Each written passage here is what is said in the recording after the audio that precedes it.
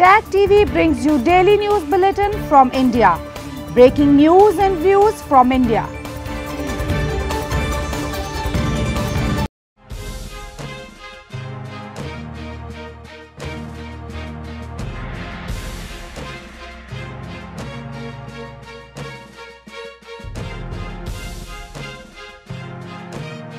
Good evening. Welcome to South Asia Newsline. I'm Yeshi Chonzom.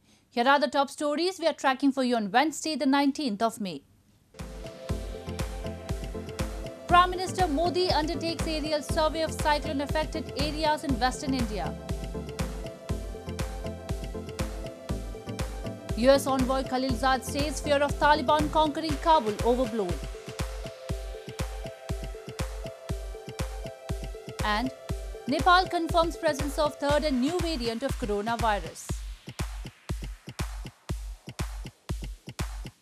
And now for all the details.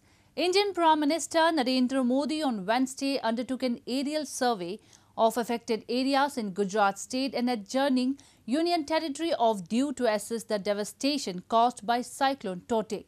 Driving waves of up to 25 feet on the high seas, Cyclone Tauktae rammed into the western states of Maharashtra and Gujarat over the past two days, killing at least 61 people and leaving a trail of destruction, authorities said.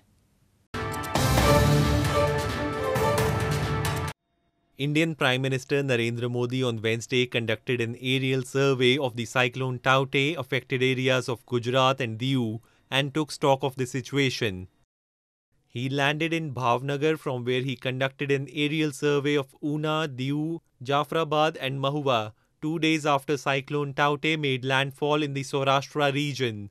After the survey, the Prime Minister also held a review meeting. Driving waves of up to 25 feet on the high seas, Cyclone Taute rammed into the western states of Maharashtra, of which Mumbai is the capital, and Gujarat over the past two days, killing at least 61 people and leaving a trail of destruction, authorities said. Indian naval ship Kochi that was sent for rescue operations off Mumbai coast for those stranded in Arabian Sea during the cyclone brought back 185 people off the barge P305 on Wednesday.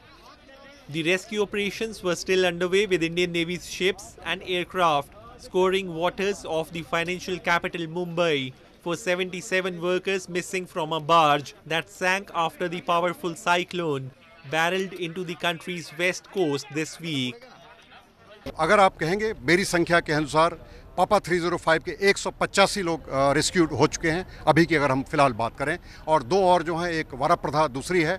आपको यह भी जान ये जो आपको जान करके खुशी होगी कि हमारे शिप्स ने, हमारे कमांड ने, हम लोगों ने मिलकर के ऐसा कोऑर्डिनेट किया and we have been able to avert another about 300 more lives at sea Meanwhile, Indian capital New Delhi and its adjoining areas received rainfall on Wednesday under the impact of the cyclone Taute, which has now moved north northeastwards across Rajasthan to west Uttar Pradesh.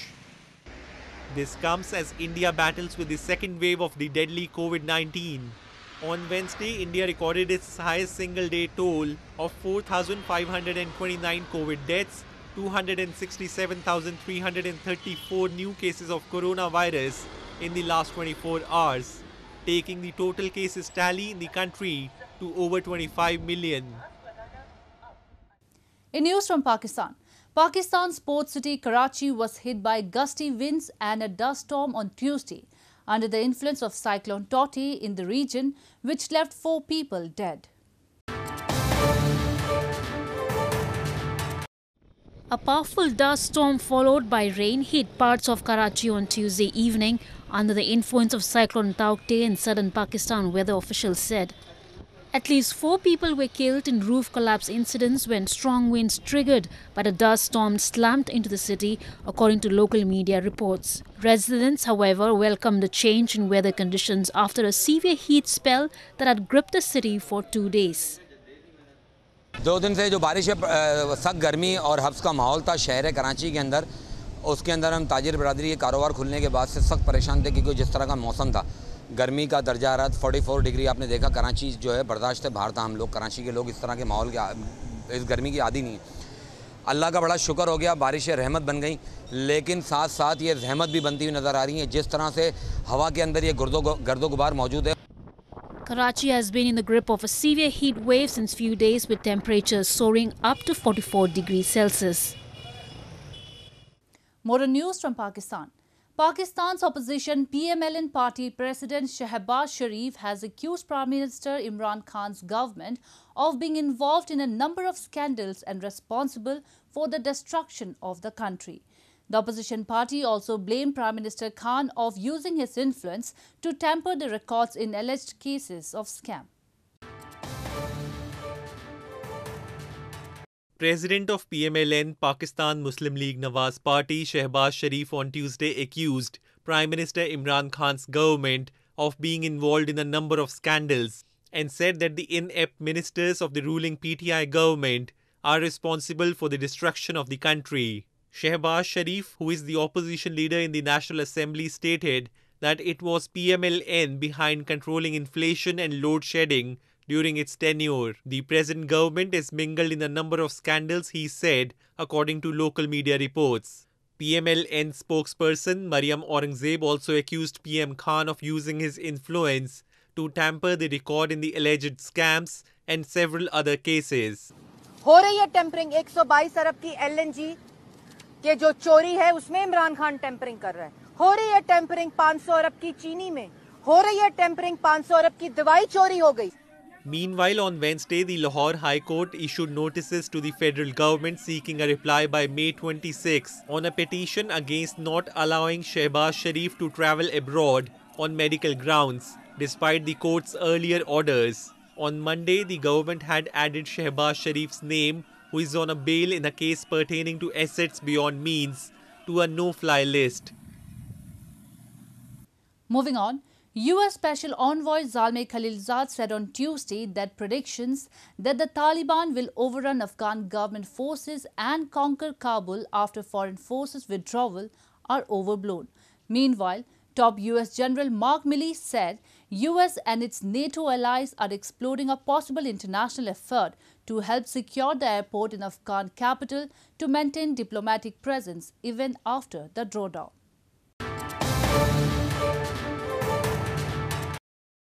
U.S. Special Envoy for Afghanistan Reconciliation Zalmay Khalilzad said on Tuesday that predictions that the Taliban will quickly overrun Afghan government forces and conquer Kabul once U.S. and coalition forces are fully withdrawn are unduly pessimistic. Khalilzad made the remarks during a meeting of the House Foreign Affairs Committee, whose members expressed deep worry that President Joe Biden's decision to fully withdraw by September will lead to chaos and intensified civil war in Afghanistan. Khalilzad argued that the Taliban have reason not to push for a military victory and instead pursue a negotiated political settlement that could give them international legitimacy and removal from certain American and UN sanctions.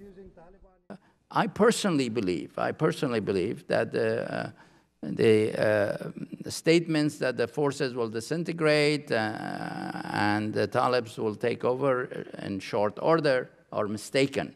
The real choices that uh, the uh, Afghans will face is between a long war and a negotiated settlement.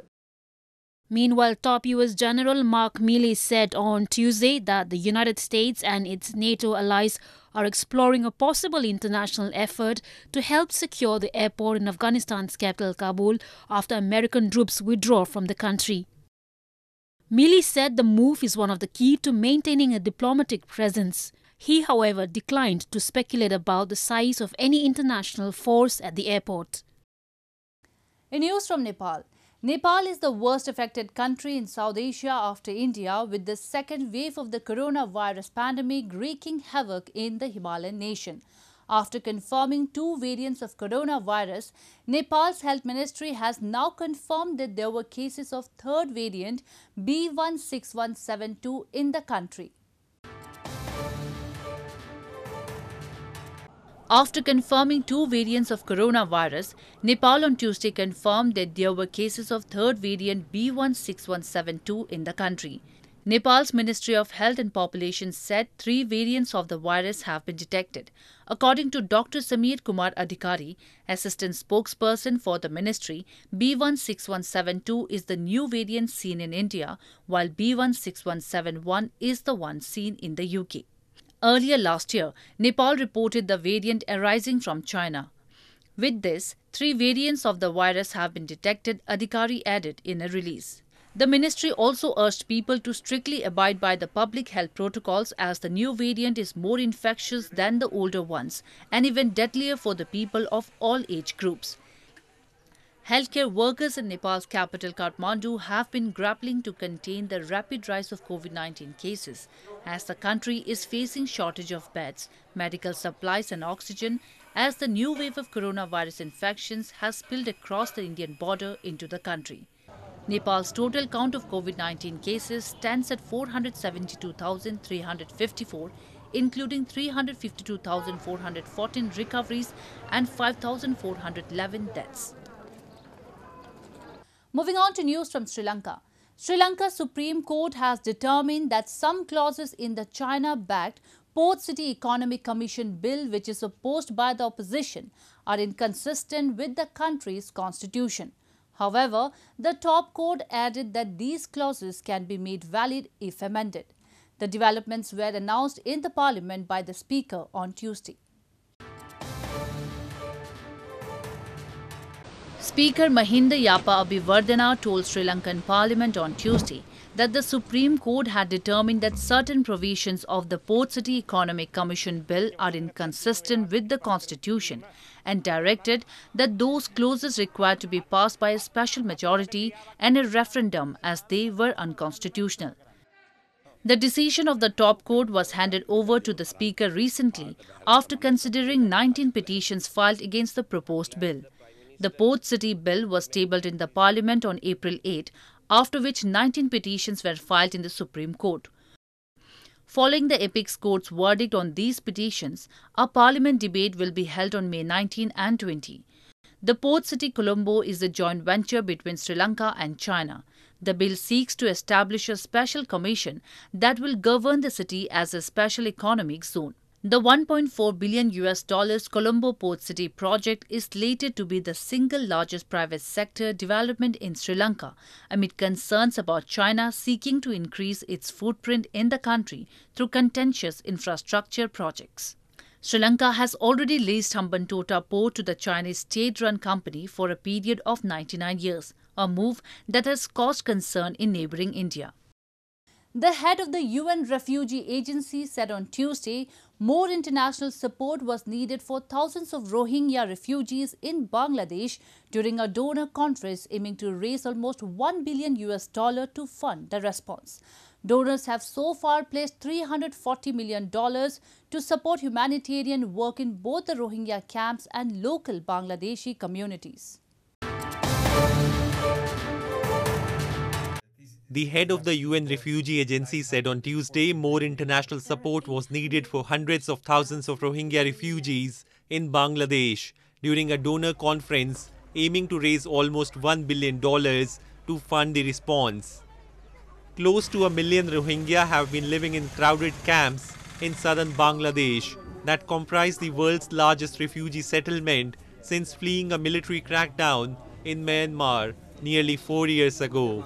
UNHCR launched an appeal for $943 million to support humanitarian work in both the Rohingya camps and local Bangladeshi communities.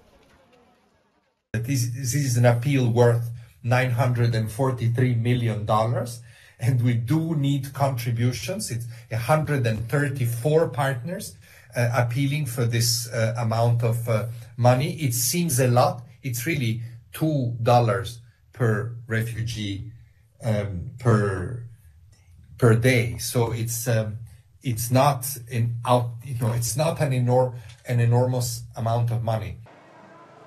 The founder of NGO Friendship, Runa Khan, said the fate of the Rohingya was at risk of being forgotten in the wake of a coup by the army in Myanmar that has thrown the country into further turmoil and sent more people fleeing to the borders since February 1.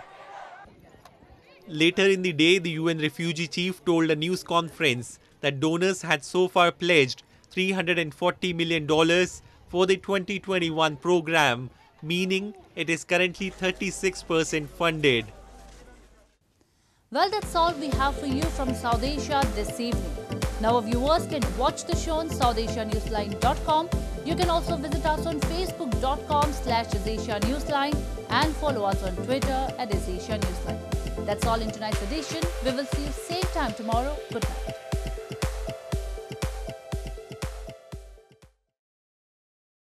Subscribe Tag TV YouTube channel and press the notification button.